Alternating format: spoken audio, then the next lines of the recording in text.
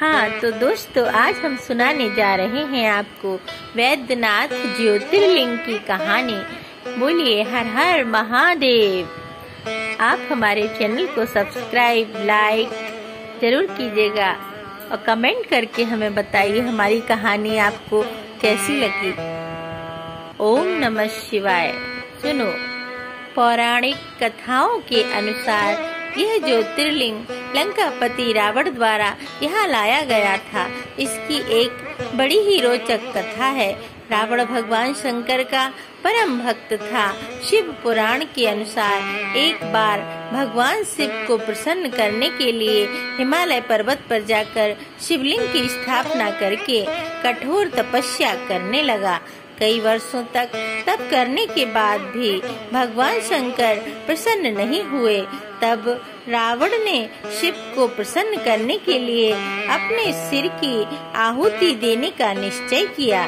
विधिवत पूजा करते हुए दशानन रावण एक एक करके अपने नौ सिरों को काटकर शिवलिंग पर चढ़ाता गया। जब दसवां सिर काटने वाला था, तब भगवान शिव वहाँ प्रकट हुए और रावण को वरदान मांगने के लिए कहा रावण को जब इच्छित वरदान मिल गया, तब उसने भगवान शिव से अनुरोध किया कि वह उन्हें अपने साथ लंका ले जाना चाहता है। शिव ने रावण से कहा कि वह उसके साथ नहीं जा सकते हैं। वह चाहे तो यह शिवलिंग ले जा सकता है। भगवान शिव ने रावण को वह शिवलिंग ले जाने दिया, जिसकी पूजा करते हुए उसने नौ सिरों की भेंट चढ़ाई थी। शिवलिंग को ले जाते समय शिव ने रावण से कहा कि इस ज्योतिर्लिंग को रास्ते में कहीं भी भूमि पर मत रखना, अन्यथा यह वहीं पर स्थापित हो जाएगा। भगवान विष्णु नहीं चाहते थे कि यह ज्योतिर्लिंग लंका पहुँचे। अतः उन्होंने गंगा से रावण के पेट में समाने का अनुरोध किया। रावण के पेट में जैसे ही गंगा पहुँची, रावण के अंदर मूत्र करने की इच्छा प्रबल हो उठी। वह सोचने लगा कि शिवलिंग को किसी को सौंपकर लघु शंका कर लें, तभी विष्णु भगवान एक ग्वाले के वेश में वहाँ प्रकट हुए।